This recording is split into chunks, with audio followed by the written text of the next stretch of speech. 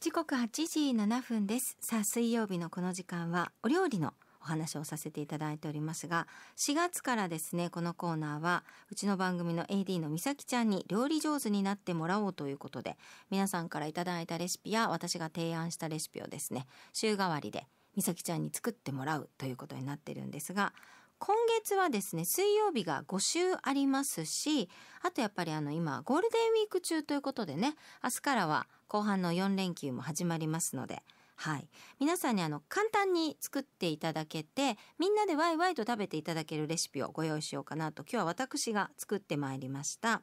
もうすごい簡単です。簡単にできる唐揚げをご紹介したいと思います。まあ、今やなんか唐揚げってもう本当にお弁当にも欠かせないし普段の食卓にも欠かせませんし小さなお子さんから本当に大人も好きなメニューの一つかな。特に男性陣ですかね。なんかあの仕事場でもよく唐揚げ弁当を食べてる男性とか見かけたりします。はい。でちゃんと作ろうと思うと意外に手間がかかるのが唐揚げでめんどくさいんだよなと思ってらっしゃる主婦の方も多いかと思うんですがなので今回はですねあのこの時期よく今頃バーベキューに行かれる方も多いと思うんですけど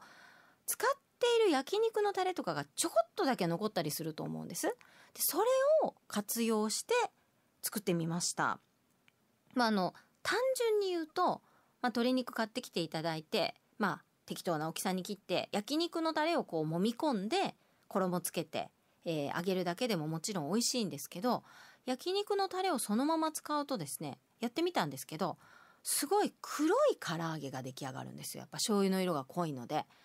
でどちらかというとあんまり真っ黒だと焦げてるわけではないんだけど見た目がねなんかこれちょっと失敗したんじゃないかなんていう風に見えてしまいますのでこれをお酒で割ります。でベースお酒にしていただいて焼肉のタレを半分ぐらい入れていただきます。お酒に対して。でやっぱりあの風味が飛んでいますので生姜とニンニクを少しそこにすりおろしたもの入れて揉み込んでください。もうビニール袋とかの中にギュッと入れていただいて空気抜きながら口閉めてもらってあとはもうちょっとビニールの上からちょっともみもみもみっとしていただいてまあもう今ねちょっと気温が高いので外に置いておくとちょっと危険ですから冷蔵庫とかにもポーンと入れておいていただいてあとは衣をつけて焼くだけです。それに丁寧に衣をかけてもいいですし水気をですねもうほとんど切っていただいてもう私の場合これ何が一番簡単かなと袋の中に小麦粉と片栗粉を入れてその中でまたもみもみもみってします。そうするともう全部に衣がついた状態になるのであとはそれを一つずつフォークかなんかで油の中に落としていただくとお台所も汚れなくて手も汚れなくて唐揚げができるということになっております、えー、私のブログに写真が上がっていますのでぜひしてみてください。タレにつけた状態で小分けにしていただいて例えば冷凍とかしていただくと例えば23個だけね。そうすると朝溶かしといてそれを焼いてお弁当のおかずに入れることもできます。別に唐揚げにしなくても大丈夫です。そのまま焼いていただいても美味しい味付きの鶏肉ができますのでお弁当のおかずとしても活用できると思います。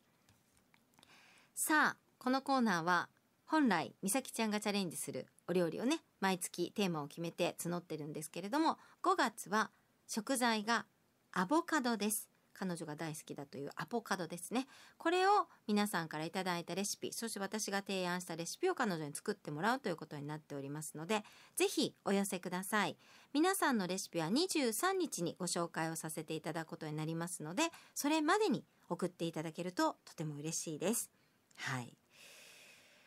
先月もね結構玉ねぎいろいろいただきましたので今月も皆さんから